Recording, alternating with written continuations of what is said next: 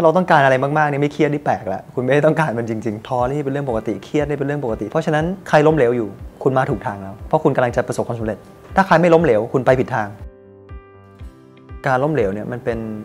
สิ่งที่ข้ามไม่ได้สู่ความสำเร็จ ทุกคนต้องล้มก่อนถึงจะประสบความสำเร็จ ไม่มีใครเกิดขึ้นมาแล้วขี่จักรยานเป็นเลยนะครับต้องล้มก่อนทุกคน ไม่ว่าจะเป็นนักจักรยานคนไหนที่ขี่เก่งที่สุดในโลก เขาต้องเคยล้มมาก่อน จะให้อ่านหนังสือกี่แล้วเมื่อขี่จักรยานยังไงให้ไม่ล้มเนี่ยมันก็ขี่ไม่เป็นวิธีเดียวคือลงมือทำแล้วอย่ากลัวเจ็บเพราะมันต้องล้มแน่นอน ถ้าใครไม่ล้มเหลวคุณไปผิดทาง เพราะคุณทำสิ่งที่ง่ายเกินไป พอเรามีเป้าหมายที่ยิ่งใหญ่แล้วเราต้องการมันมากๆนะครับเราไม่ยอมแพ้อยู่แล้วครับมันคือความเจ็บปวดที่เราเรายินดีที่จะรับแล้วเราก็ทนได้อยู่แล้ว ผมว่าคนไม่ควรพูดเรื่อง work life balance เยอะเกินไปเป็นเทรนด์ที่ผิดรุ่นคุณพ่อคุณแม่เราช่วงก่อตั้งธุรกิจเนี่ยไม่มีใครชิลครับทำงานหนักกันหมดทุกคน work กับ life มันเป็นอันเดียวกันไปแล้วสำหรับคนที่สร้างสิ่งที่มันมหัศจรรย์อยู่ที่ว่าคุณต้องการเป็น great player หรือ good player ถ้าถามนักฟุตบอลคนอื่นเป็น good player เขามี work life balance เขาเป็นคนกลางๆ ที่เข้าสนามซ้อม เป็นคนแรก ๆ ที่ออกจากสนามซ้อม เขาชิลเขาไปปาร์ตี้เขาไปมีเวลาให้กับครอบครัว แต่ถ้าพูดถึง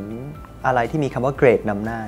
ไม่ใช่ พระเจ้าให้ทุกคนเหมือนกันครับ 24 ชั่วโมง 7 วันต่อสัปดาห์ ถ้าคุณจะเกินค่าเฉลี่ยแปลว่าอะไรครับ คุณต้องเสียสละเกินค่าเฉลี่ยในบางอย่าง คุณต้องแลกครับคริสเตียโนโรนัลโดซ้อมหนักมาก เขาถึงเป็น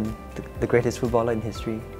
ไม่ใช่เพราะว่าเขามีแค่พรสวรรค์อย่างเดียว เขาซ้อมหนักที่สุด เขาคนแรกออกคนสุดท้าย มันจะมีอยู่ 3 property ของสิ่งที่เรียกว่า great อันที่ 1 ก็คือ focus great footballer ไม่ไปว่ายน้ำไม่ไปตีแบดเขาจะไม่ทำหลายอย่าง เขาจะรู้ว่าสิ่งที่เขาเก่งที่สุด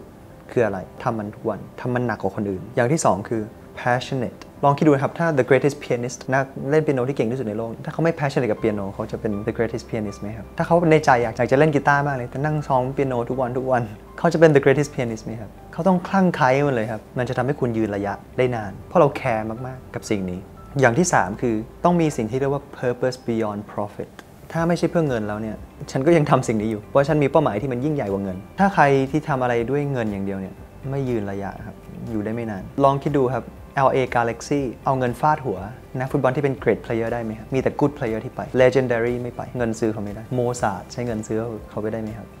ถ้าจ่ายเงินแบบ โอ้โห เป็นคนที่รวยที่สุดในโลกเลย บอกให้เขาเลิกเล่นเปียโนหรือบอกให้จ่ายเงินให้คริสเตียโนโรนัลโดเมสซี่มหาศาลเลย บอกคุณจะเป็นคนที่รวยที่สุดในโลก แต่คุณห้ามเล่นฟุตบอลตลอดชีวิตของคุณ คิดว่าเงินซื้อเขาได้ไหมครับ ทุกวันนี้เขารวยจนไม่รู้ใช้เงินกี่ generation ยังไม่หมดทำไมเขายังเล่นฟุตบอลอยู่นะครับเขาต้องการ